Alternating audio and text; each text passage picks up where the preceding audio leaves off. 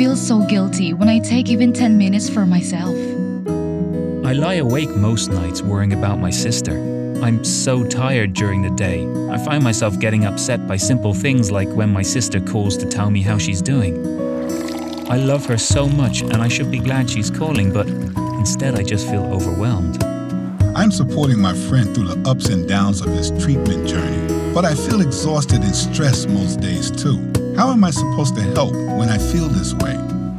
I have so much weighing on me. I work, take care of my kids, and help my mom when her mental illness gets bad. No one understands what I'm going through.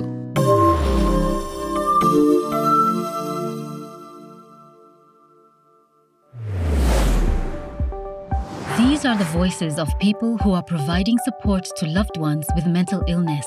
So often, when we provide care for others, we forget to take care of ourselves too. This can lead to burnout, which is caused by physical, emotional, and mental exhaustion. Some signs of burnout are feeling overwhelmed or stressed out and having constant negative self talk. If you aren't taking care of yourself, it can be difficult to help someone else. Proper self care is important to ensure you stay healthy and have a good mindset to continue to provide the necessary support to others without burning out from exhaustion and stress. Here are some things you can do to practice good self care. Move your body. Make sure to move your body every day. Exercise under the direction of your physician is great, but even things like dancing, housework, gardening, or simply going for a walk can help. When you start to feel overwhelmed, sometimes changing your environment for just a little bit can ease some of the stress. I have just been so stressed out. Last week I had a friend come over and help me out just so I could go for a walk. I felt much calmer when I came home. Breathe. You don't have to physically leave to take some time away from stress. Sometimes just taking a few minutes to focus on your breathing can help you feel better and reduce your stress.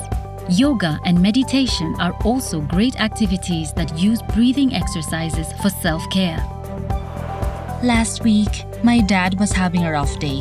When he left his home and got in my car, I was really upset. I started doing some deep breathing exercises. After a few minutes, I felt so much better and I could refocus. Breathing helped to recenter myself before I drove away. Follow a healthy diet. Eating a balanced diet and staying hydrated with water is just as important as any other self care practice. Talk to your doctor about the right diet for you. I didn't have time to cook every day, so I started to prepare meals ahead of time. It was a relief not to worry about what I was going to eat for each meal. Sleep.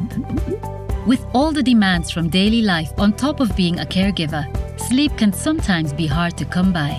Worrying can keep you up, tossing and turning. It is important to get a good night's sleep so that you feel rested, refreshed, and alert.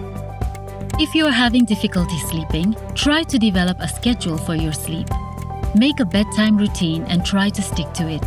Turn off electronics before getting into bed. Reducing caffeine before sleep can help as well. Finally, make your sleeping environment dark, cool, and comfortable. I was on my phone too much before I went to bed. I started to put my phone away before I got into bed, and I found that I fell asleep peacefully. I've been feeling more rested lately. Build a support network. Being a caregiver can be challenging at times, but building a dependable support network can have tremendous value for your own self care. It's important to talk to other people, ask questions, or lean on others for emotional support. My husband and I joined a support group in our area for other caregivers, just like us. It helps to talk to others who are going through the same issues we are. It makes us feel like we aren't alone in this. That if other men and women can support their loved ones with mental illness, we can too.